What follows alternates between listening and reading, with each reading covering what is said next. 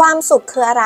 ฮอร์โมนตัวไหนที่ทำให้เรามีความสุข วันนี้จะว่าด้วยเรื่องของฮอร์โมนนะคะฮอร์โมนที่ทำให้เรามีความสุขเนี่ยจะมีเป็นร้อยๆตัวเลยนะคะ แต่จะยกตัวอย่างมาให้ฟังนะ ก็จะมี dopamine serotonin oxytocin endorphin adrenaline noradrenaline นะคะ และแต่ละตัวเนี่ยทำหน้าที่อะไรบ้างล่ะโดพามีนเนี่ยเป็นความสุขที่ได้จากเงินความสำเร็จการบรรลุเป้าหมาย serotonin เนี่ยคือความสงบสุขความมั่นคงค่ะ เวลาที่เรานั่งสมาธิออกกำลังกาย serotonin ก็จะหลั่งนะ และออกซิโทซินล่ะ จะออกมาตอนที่เราไปออกเดทค่ะ พ่อแม่ให้ความรักคุยกับเพื่อนและสนุกสนานออกซิโทซินก็จะหลั่งออกมา ส่วนเอนโดฟินเนี่ยก็จะเป็นตอนที่รู้สึกฟินสุดขีดค่ะอะลีนาลีนและนออะลีนาลีนเนี่ยจะเกิดออกมาตอนที่เราวิตกกังวลมีความเครียดนะคะ เช่น นั่งรถไฟเหาะตีลังกาแล้วเรารู้สึกตื่นเต้นอย่างเงี้ยแต่จะมีสารแห่งความสุขหลักๆ 3 อย่างที่ทำให้เราเนี่ยฟินและบรรลุเป้าหมายเลยค่ะ ถ้าเราจัดลำดับความสำคัญผิดความสุขก็จะลดลงเลยนะคะ ชีวิตคนเราต้องการอะไรคะ สุขภาพร่างกายที่แข็งแรง ความรักและก็ความสำเร็จใช่ไหมคะ แต่ส่วนมากคนเราชอบเรียงลำดับความสำคัญผิดค่ะ ชอบไปเอาความสำเร็จขึ้นมาก่อนสุขภาพ ยิ่งอดหลับอดนอนทำงานมากเท่าไหร่โอกาสเจ็บป่วยก็จะยิ่งมากขึ้นเท่านั้นเลยนะคะ แล้วถ้าให้ความสำเร็จมากกว่าความผูกพันล่ะ